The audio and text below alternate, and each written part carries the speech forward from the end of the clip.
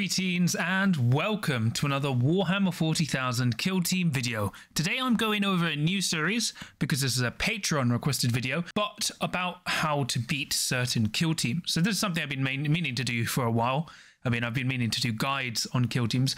But yeah, today I'm going to go through Intercession Squad as requested by my patrons, going over just how to beat them and general tactics.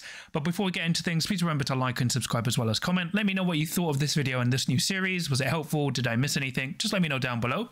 And if you want, I've got a Discord you can check down in the episode description, as well as a Patreon if you want to give me some more support. But yeah, let's get on with the video. So what is this guide about? And this follows the format I'll use for pretty much all of these going forward. So I have generalized tips for beating this specific kill team, which in this instance is the Intercession Squad kill team. I'll go over the strengths and weaknesses of said team. I'll cover their tricks and combos you need to watch out for. I'll cover their general loadout, so common operatives that you will see players use, and then I'll mention some matchup specific tech. So I, I won't go into too depth, but I'll cover it for some teams. So for the intercession kill team, who are they? For obviously, this is only going to be a brief overview. If you want a more in-depth review of this kill team, I've got a video I've done on it, which you can check out on my channel. But basically, they are a six space, well, six person kill team using, well, six operatives, and they're using Primaris Marines, notably a mix of intercessors and assault intercessors. They're a free kill team, which have been given by Games Workshop, which was great. And currently, at the time of this video, they are the most popular kill team in the world, and by quite a big margin, popular than any other kill team we've had before. So you're very likely to see them. They are a very popular kill team, and even competitively, they're doing very well as well. They're winning lots of tournaments, and well, yeah, they're everywhere. So the strengths for this kill team, first, all the operatives are 14 wounds base, which makes their breakpoints for death very high, as you need lots of damage 5 plus weapons for consistent kills. Now, this is a difference because most normal Marines are 12 wounds or 11 wounds if you're from the Compendium. So, being 14 wounds, even if they are 13 wounds, it means their chance to kill is much higher. And much harder, sorry. So, if you had a damage 4 weapon, if they only had 12 wounds and you got four hits, if they failed two saves, they're dead. Uh, if you had an AP2 weapon, they're dead. But because they have 14 wounds base, even if three, four damage attacks get through, that still leaves them on two wounds. So it actually takes a lot more investment to kill a single Marine.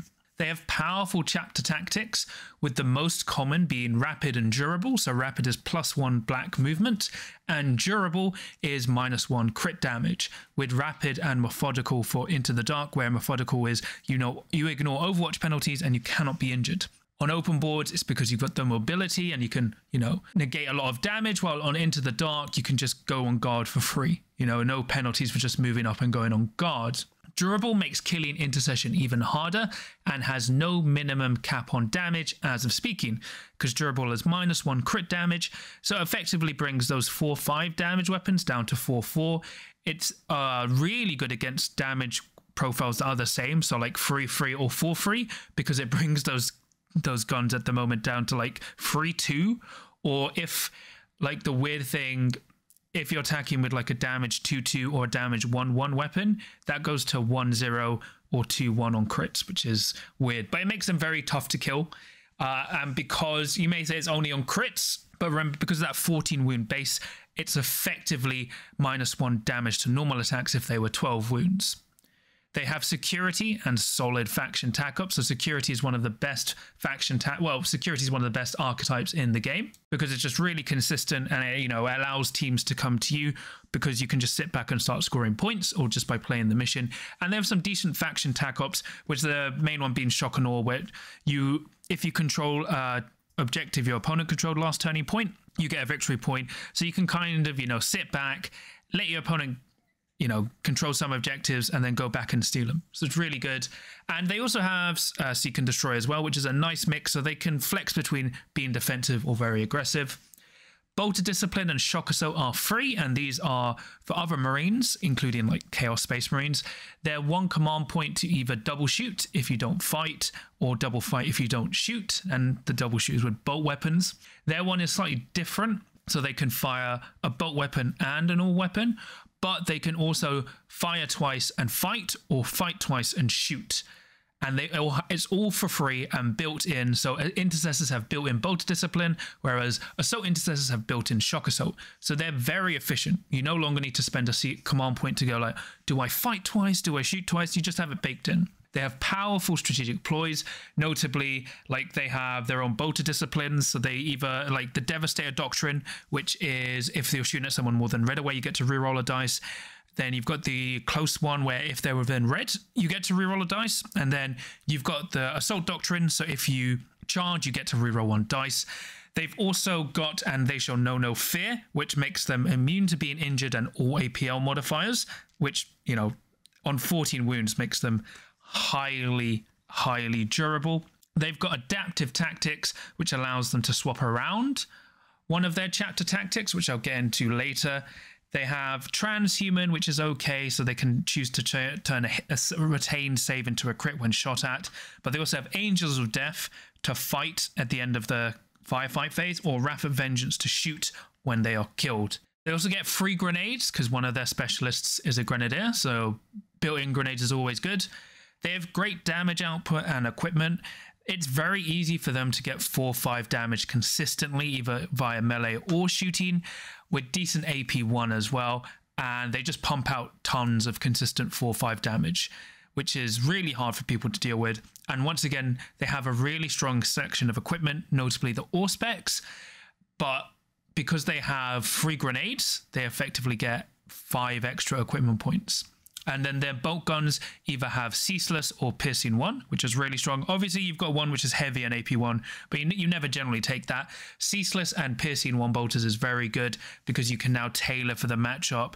Like if you're against tougher, more resilient opponents, you can go for Piercing 1. But if you're against more squishy, low wound opponents, Ceaseless is better for those free rerolls.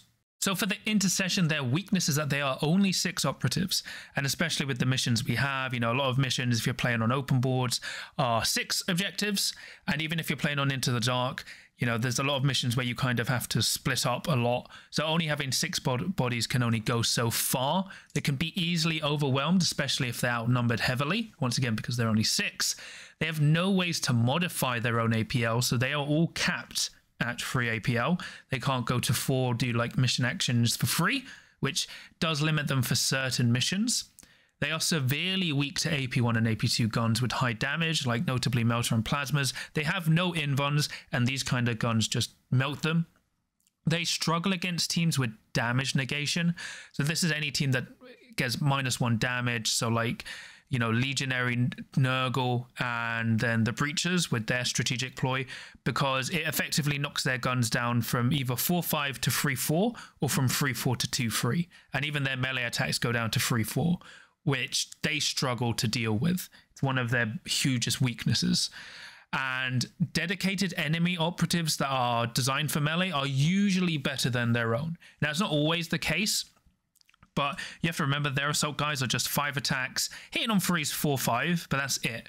Like you've got, you know, even the Butcher's a bit of a meme. It's still four attacks, re-rolling on the charge with higher damage, but notably like the Anointed, who has five attacks with all its damage negation and rending and lethal five up, especially when it's unleashed the beast.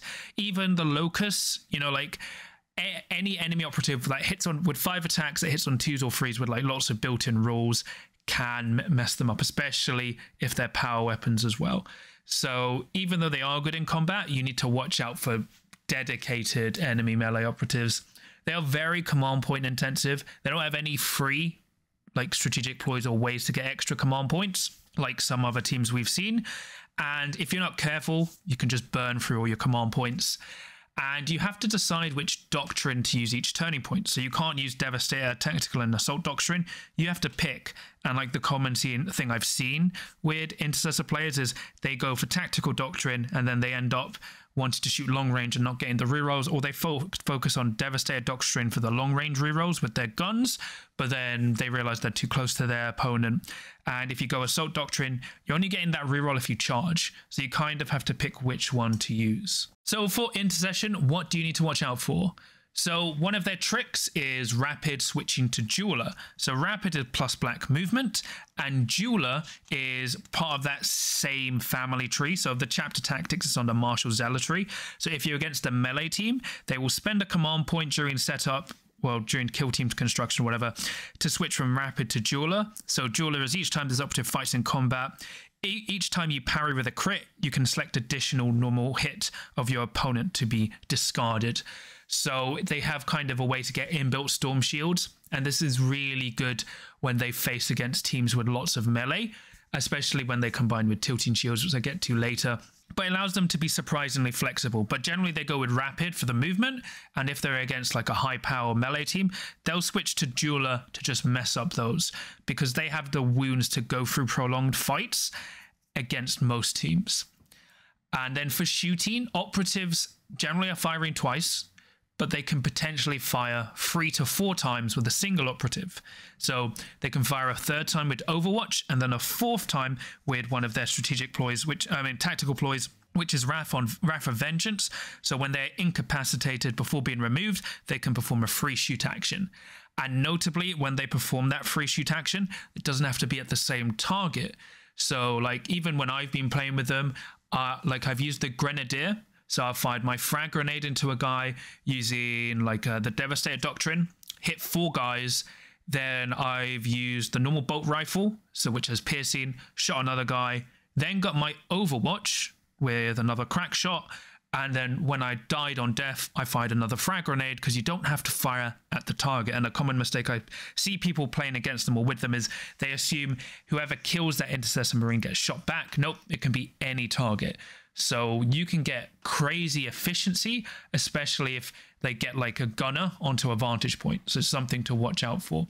A lot of the time, they will also shoot on death with the specific operative as bait. So, for example, the grenadier, they will slingshot the grenad uh, the grenadier to charge someone. So, charging like nine inches, kill them, then throw a frag grenade, and then they'll either overwatch with their pistol, or if you kill them, then they can crack grenade someone else, or they can fire the crack and then bait out a frag, something like that, because they will use the charge to catapult them or tie themselves in combat with you.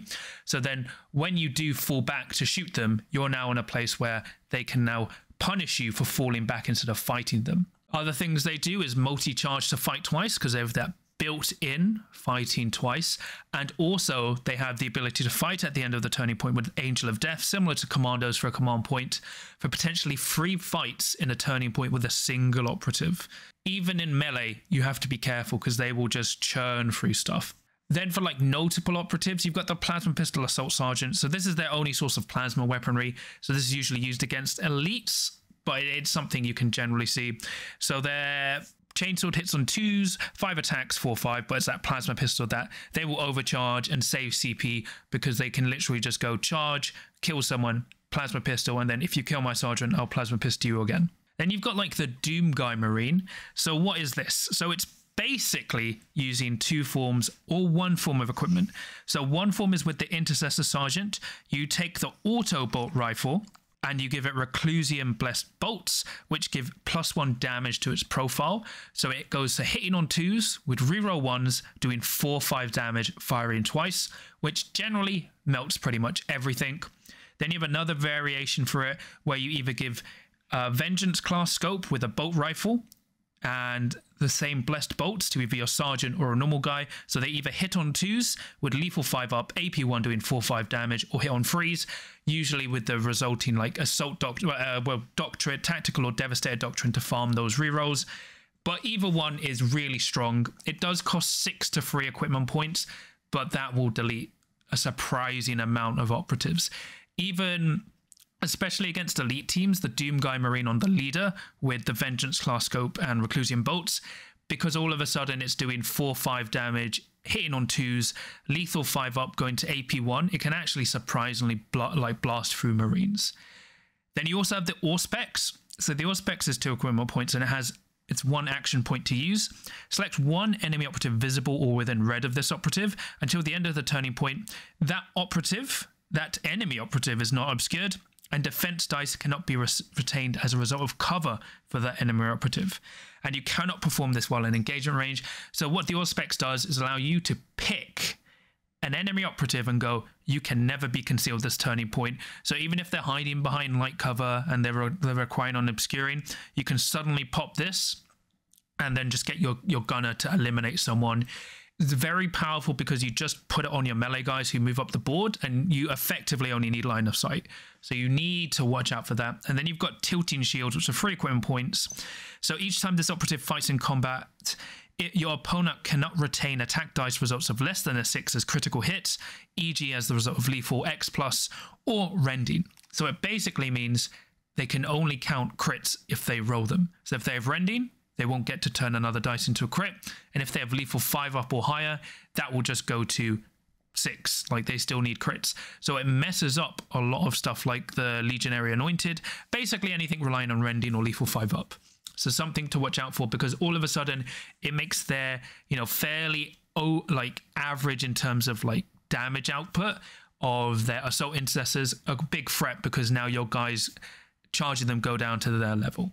So for Intercession Squad, their general loadout is Verse Elites, is usually the Plasma Pistol Assault Sergeant, with a gunner, usually with a bolt rifle for that lethal 5 up on its second shot, I mean piercing on its lethal on its second shot, Grenadier because free grenades, one Intercessor, usually with guns, uh, you know, like the lethal 5 up, maybe plus one damage, and then two assault intercessors. Or if you've gone with the gun sergeant, they may change that to three assault intercessors. But that's the general loadout versus elites because you've got your plasma pistol, then you've got uh, your grenade launcher, which has a crack grenade. You have a crack grenade, and then you have another intercessor with 4 5 lethal 5 up damage. So you kind of just blast a lot of stuff, and you've got a lot of melee threat as well versus Horde teams, the general loadout against Horde teams. So this is teams with like 10 or more models or seven wounds and a five up save. You've got the Bolter Sergeant. So this is usually the ceaseless guy with uh, plus one damage. Then you've got a gunner. As, and then you've got a grenadier and three normal intercessors because what you can do is give them combat blades because they're free four damage anyway in combat but going to free five just means you know it's just they can charge if they want to but their guns make them, you know, really max out, killing operatives who outnumber them because you're so squishy. Now, your choice is either to go ceaseless or the bolt rifles, so like the auto bolt rifles for ceaseless, or the piercing ones. I prefer piercing, but a lot of people go for the ceaseless bolters on the intercessors. Depends how command point you want intensive you want to be. But these are the two generalized loadouts which are trying to hi highlight. You can go into more in-depth ones, but then it becomes more player specific. But these are the these are loadouts you'll generally encounter when you play against intercession. So how to beat intercession? You need to maximize the usage of melter slash plasma similar weapons. So anything that has 5, 6 or higher damage with AP 1 or 2, ideally AP 2. Because remember, if you overcharge a plasma into a marine, if you get 4 hits, that marine is dead. Because they will go they only have one defense dice.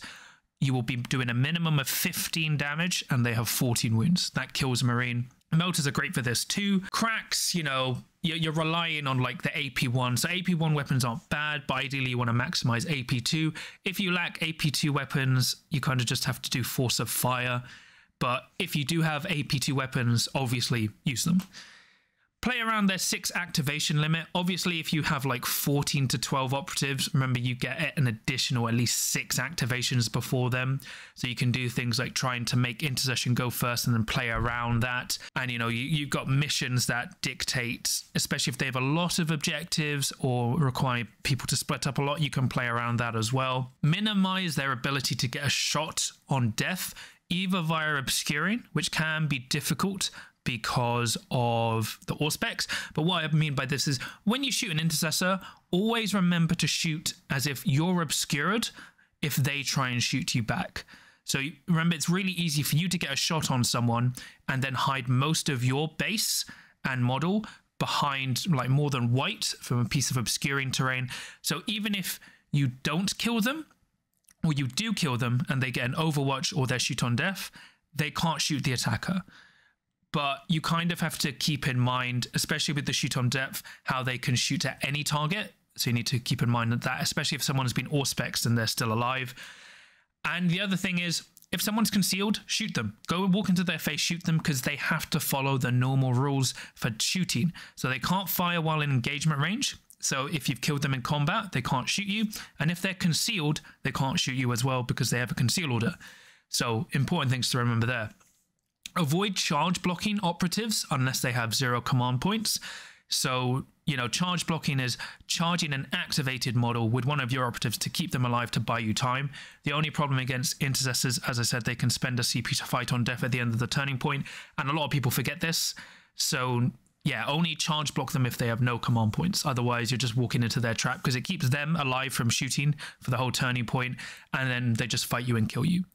And always go for full kills don't leave wounded operatives alive. Because uh, another thing I see is people go, oh, I've knocked like three operatives down to like six wounds or four wounds. So next turning point, I can deal with them.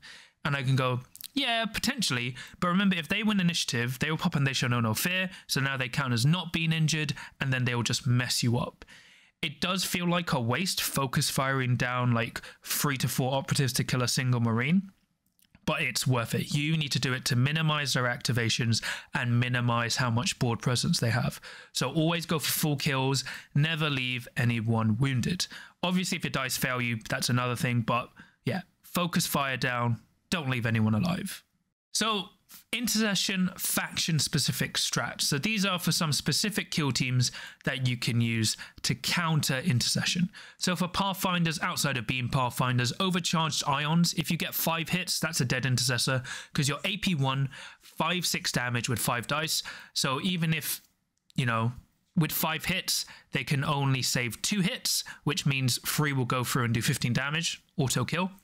Transpectral turning point one to bait out and they shall know no fear, because especially if you haven't got a kill or you've killed a full marine, making one of their marines minus one APL usually forces the other marine player to pop a command point to just auto go into and they shall know no fear, which is great for you because especially if they're down an operative, now they're spending their CP on no one who's injured just because one guy is minus one APL. Then you've got the Melter and EMP grenades. So what I like to do is last activation of turning point one, plus one APL to the Grenadier, move and dash, Melter, Melter grenade one guy with a fusion grenade, and then usually they're nearby people, and then turning point one of the uh, turning point two, first activation, either a worthy cause or go first and EMP that guy who will bounce into everyone else. And with an EMP and Melter, you should kill one Marine as well as in like flicking away at other Marines, which is great. And obviously, Markerlight spam. Because remember, if you get three Markerlights on an Intercessor, your normal guys do crazy damage because they're still 4 5 damage. They'll be hitting on fours with rerolls, especially with Bonded. So, you know, always follow with with Markerlight spam. Legionary, you go full Nurgle for that minus one damage. It's Legionary a really good counter for Intercession just because Intercession don't have that much burst lethal damage, so when you hurt their normal damage, you live a lot longer. The Nurgle Anointed is a huge counter to this kill team as well, really messes them up. They have to dictate at least two to three operatives to kill your Anointed. So you really want to do a lot of work with them. And even your leader with like the Demon Blade will just mess them up. So Legionary are a great counter overall. Hunterclade have Transonic Blades, which are 5 dice hitting on freeze, 4-6 with Rending.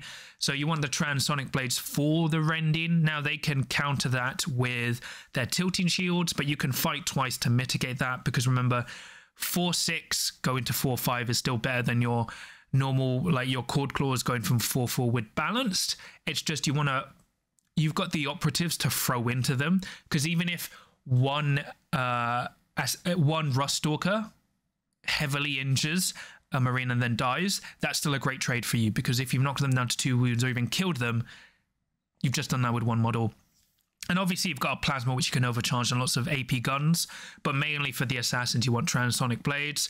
Void Dancer Troupe, so this is what people normally consider a bad matchup, but generally you want two to three kisses with upgraded damage, so they're 4 6 damage. Well, they're 4 7, right? But they'll go to 4 6 because the way that works is if you charge an intercessor, you can do murderous entrance, so you will strike and immediately do 10 damage and if you've got two more hits, even if they parry one of your hits, you will then do four damage, which is 14 damage, and that will kill a Marine. So, because most people just go full blades, but actually, what you want to do is go three kisses, maybe some blades or Rending, but mainly well, blades. But it's because kisses are six or seven damage with crits for free, normal damage base, and you can upgrade them to four. And then obviously Curtain Falls. So unless you're playing Epic, you do want to switch to Epic when you can, but let's say you don't roll any crits and Epic isn't active for your Allegory, you can just plink someone and then fall back. Or if you only roll a single crit, you can plink someone and then catapult away. And it's really like a death by a thousand cuts, but you have that way to outmaneuver them. So, what are the best and worst kill teams to use against the Intercession squad? So, some of the strongest counters are definitely Hunter Clade. They're a mixed shooting and combat team with powerful factors for both, lots of maneuverability and power, so a natural good counter. Pathfinders, so Pathfinders aren't as good as you would expect because a really good Intercession player can quickly delete your targets. As in terms of if they kill your two ions and your marksman early, you will struggle to kill them. But if you if they don't do that and you spend turning point one putting all the marker lights on, you can just point and click delete marines. Legionary, as I said, Nurgle just messes them up. Breachers are a really good counter because they all get stims and minus one damage. It's actually almost impossible, in my opinion, for legionary uh, for intercession to beat breachers because they will go 12 guys and it's just it's just too much to deal with especially how breachers currently exist. And then oddly Kasrkin, because Kasrkin are really good at deleting elite teams. So for example, they have three plasma, uh, two plasma weapons with a plasma pistol, plasma gun, and a melter gun. And with elite points and command points, they can force auto hits. So for example, the melter and plasma, they should roll two hits, two misses, spend a CP or two to get another hit, and then elite points into four hits, and then you just delete a marine. And they can do that potentially three times a turning point which makes them really good at killing elites. It's one of the few things they're good at. And then their weakest counters, commandos. Commandos just don't have the damage to deal with them. Like oddly melee, they can't deal with the with the intercessors. And shooting, once they've deleted your like dynamite and your rocket boy, you really struggle against them. Phobos, they just don't have the damage output overall. You can stun guys, but it's it's not worth it.